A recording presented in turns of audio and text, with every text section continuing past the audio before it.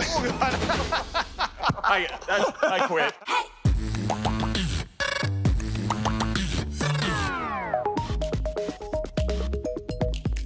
Based on the weather in Calgary so far, I'd say if you want to be a gold medalist in ski cross, this is about the perfect town to do it. Yeah, Brady Leman definitely picked the right spot. I can kind of feel hypothermia kicking in already, so do you want to head in? Sounds good. I can't feel my face. My name is Brady Leman. I'm from Canada. I was a gold medalist in ski cross at the 2018 Winter Olympics. The moment I knew I won gold, I was feeling just so happy and proud and surprised. hitting the wall to me would mean hitting that mental wall with training, whether it's on the hill or in the gym. Ski cross is a really time consuming thing to train for.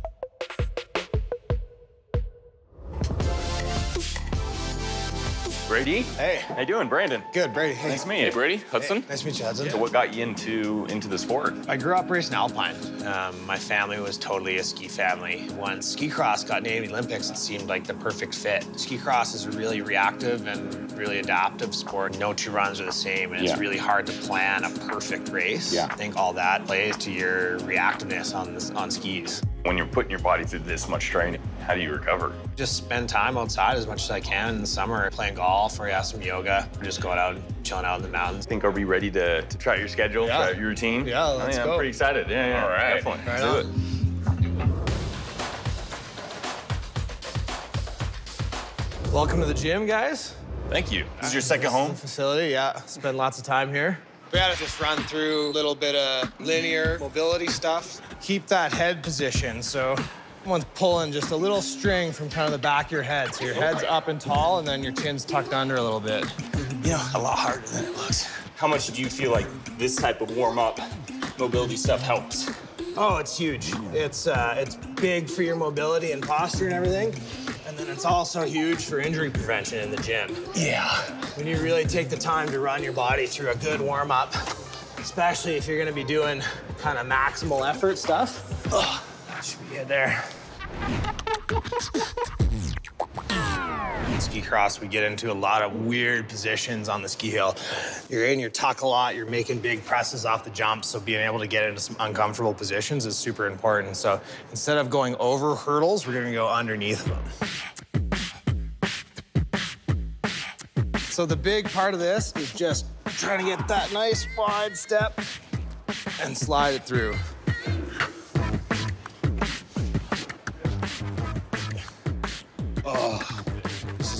The wider you can make that first step, the easier it's gonna be.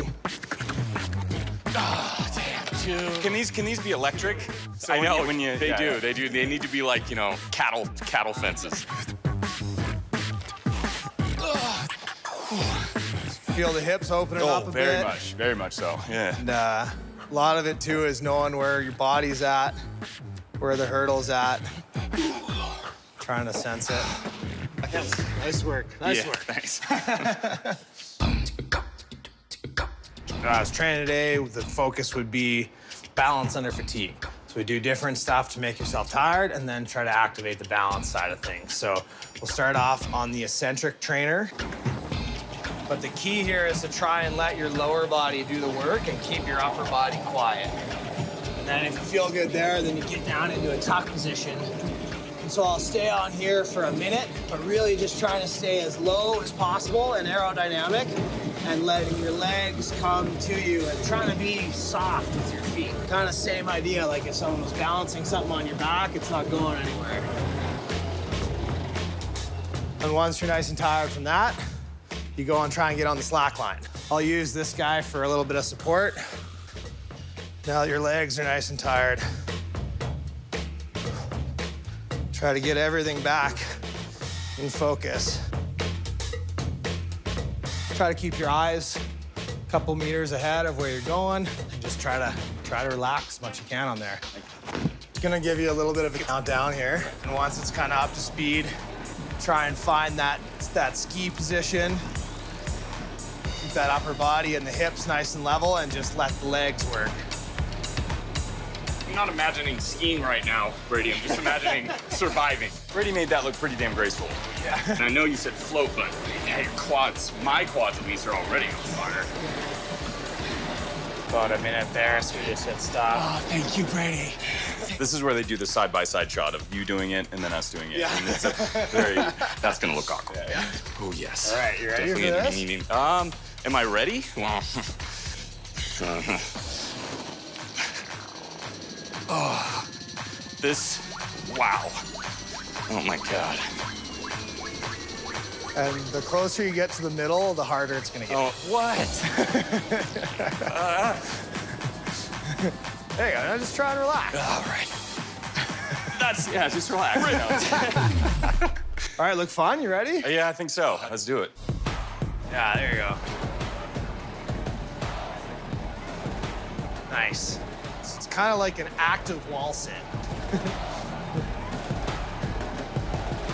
You're halfway there. Wait, that's it? oh my God. Oh, oh, I'm dying.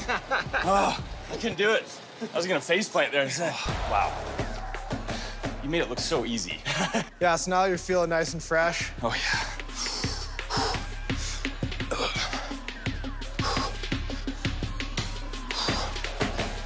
Shakes. Yeah, I know. The shakes. Gates are kicking in. keep, keep them toy. I, I quit. that was too close for comfort. Yeah. That's a little taste of ski cross training. So what's next? Next, I think we're gonna hit the force plates. That sounds kind of cool. Yeah. Force plate? Yeah. kind of looking forward to that one. Maybe I shouldn't be, but. no, it'll be all right. Okay, You'll okay. make it. Nice.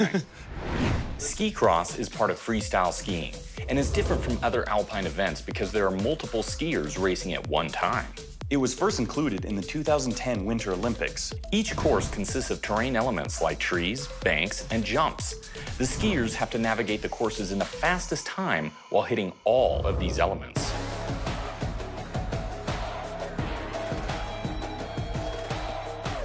All right, guys, this is the final challenge, for the hitting the wall medal. Oh, Yeah. So we're gonna do force plate challenge. This is Mike. He can tell you a little more about it. Well, welcome to our Strength and Power Laboratory.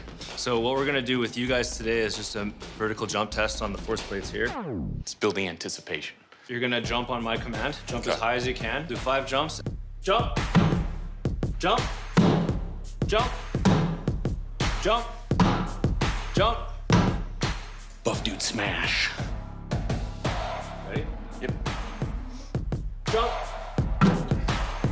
Jump.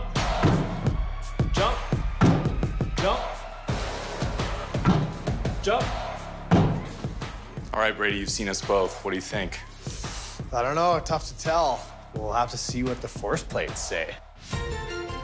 This is actually something I do twice a week in my training when I'm here in the summer. It lets us see how the training load is affecting my power output. That's one. And then hopefully we see as the summer training season kind of rolls on, a little bit of a progression in the numbers and start to really see the gains as it translates into something super functional like a vertical jump. I don't know if we'll be as impressed uh, by our own numbers, but You guys okay. ready to find out? I think so. Who's taking home the hit the wall medal? That's right. Oh yeah. We're ready.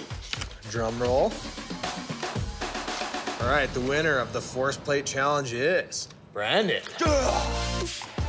Buff dude number one. I win it. Yes, thank you. Thank you so much. Congratulations. Appreciate it. Now that I have you here, Mike, I just I want you to explain how awesome I am through technology. Oh, happy to do it. So if you see here, and as I promised, we wanted to look at the, the peak power that you could produce. And uh, you had 58 watts per kilogram, uh, and Hudson had 54. So it's still rather close. Yeah, um, but uh, you know, that's why we that do the little bit, science. That's why we do the exactly. science, right? We were able to tell that you jumped higher as well. You got some pretty good, uh, pretty good bragging rights for the next one, man. Hudson and Brandon were awesome. It was cool to get those dudes into some uncomfortable situations and definitely try to push some things that I know that they hadn't done before.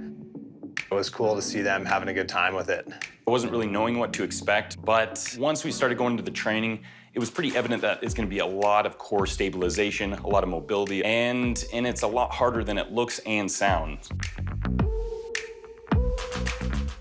I'm just glad he didn't take us on the slopes. He probably took one glance at us and thought, yeah, I'm probably gonna be keeping these guys in the gym today. Next time on Hitting the Wall. We're meeting Lutalo, a Taekwondo Olympian. Can we keep up? Guess we'll find out.